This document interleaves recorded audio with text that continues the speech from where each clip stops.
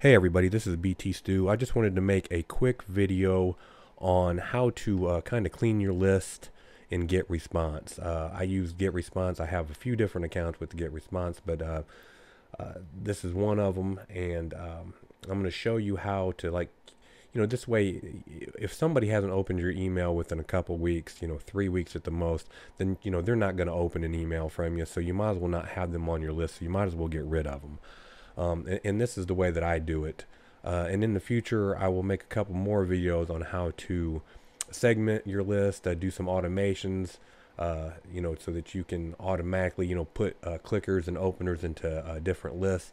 And that way you can mail just to them uh, when you're really wanting to get, you know, some promotions out there to real engaged subscribers. So uh, this is what I do. So after uh, I just add a condition. So uh, here I am. I've got all my lists up here, and you you can do this individually um, with uh, your individual lists as well. Uh, I'm just going to do it all together for now.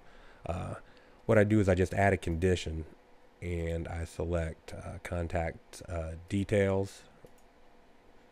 Their subscription date is before, like three weeks back. So anybody that has subscribed before November 1st, then I apply that. So I have 3,694 people that have subscribed.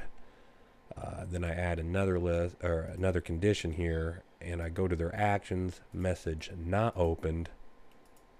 Uh, any message, so whether it be autoresponder, newsletter, any split testing, anything like that, anything you've sent you just want any message. If they haven't opened anything from you within three weeks, like I said, they're not going to open from you. Um, so you might as well get rid of them. Uh, so we're going to go with never. They've never uh, opened a message. I hit apply. So out of those, I've got 276 people that have not opened an email from me uh, that are on autoresponder day 21.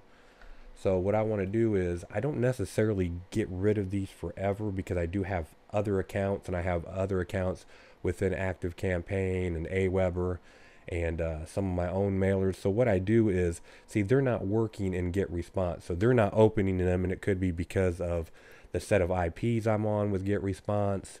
Um, or you know it's just going into the promotions tab so I don't completely ever like just get rid of and give up on this uh, on these people but I usually then would take them out of here. So what I do is I move them to a list that uh, I already know that I'm going to just go ahead and uh,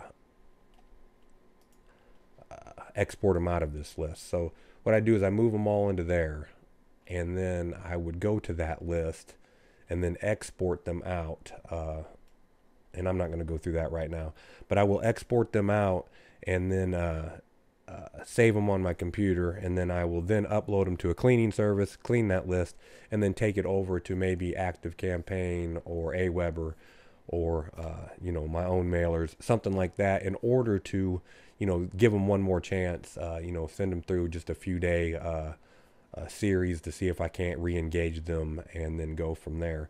Uh, but this is a way that you can keep your stats good, you know, within get response. Like I said, you don't want people on there not opening uh, you know, and not engaging uh, with uh, any of your emails.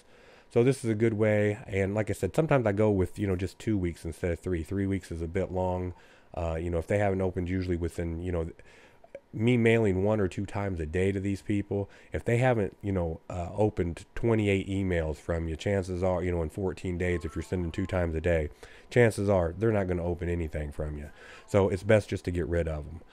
So, um, that's it for uh, this lesson with Get Response. I will be making some uh, more in the future, and I hope you guys all have a great day.